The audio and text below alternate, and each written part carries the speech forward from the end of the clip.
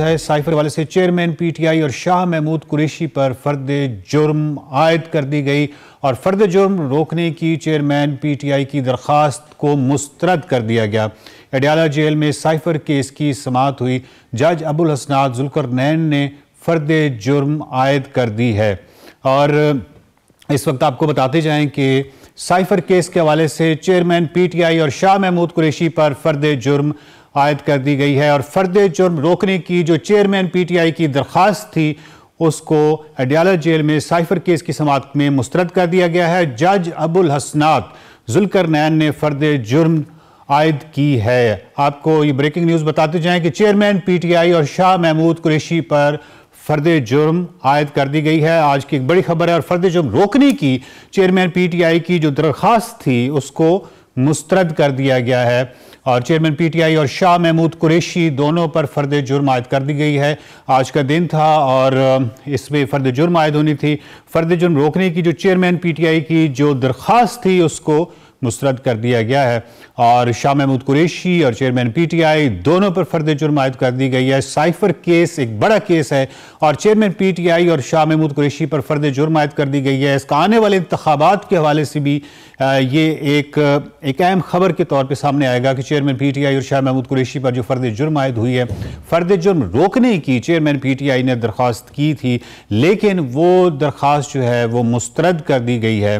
और जेल में अडयाला जेल में साइफर केस की जो समात थी, उसमें जज अबुल हसनैन हसनात ने जुलकर नैन, जज अबुल हसनात जुलकर नैन ने फर्द जुर्म आयद किया है। साइफर केस चेयरमैन पीटीआई और शाह महमूद कुरेशी पर फर्द जुर्म आयद हो गई है। फर्द जुर्म रोकने की जो चेयरमैन पीटीआई की एक दरख्वास्त थी, वो भी मुस्तरद हुई है और जज अबुल हसनात ने जज अबुल हसनात जुलकर नैन ने यह फर्द जुर्म आयद की है।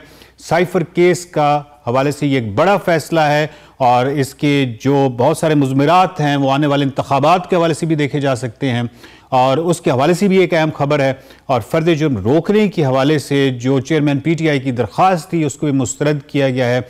इस पर अब देखना ये होगा कि पी टी आई उनके रहनुमाओं का क्या रद्द अमल होगा। साइफर केस पे चेयरमैन पीटीआई और शाह महमूद कुरेशी पर फर्द जुर्म आयद कर दी गई है। फर्द जुर्म रोकने की दरख्वास्त की थी चेयरमैन पीटीआई ने, लेकिन वो दरख्वास्त जो है वो मुस्तरद हो गई है। जज अबुल असनाद जुलकर नैन ने यह फर्द जुर्म आयद की है। आज का दिन इस हवाले से इंतज़ार किया जा रहा था। फैसले का आज फर्द जुर्म जो है आयद होनी थी।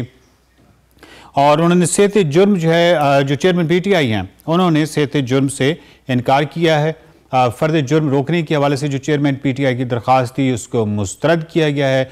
और अडियाला जेल में साइफर केस के हवाले से जो समात हो रही थी, उसके हवाले से जज अबुल असनात ने, जज अबुल असनात जुलकर नैन ने यह फ़र्द जुर्म आयद किया है। फ़र्द जुर्म रोकने की चेयरमैन पीटीआई की दरख्वास्त को मुस्तरद कर दिया गया है।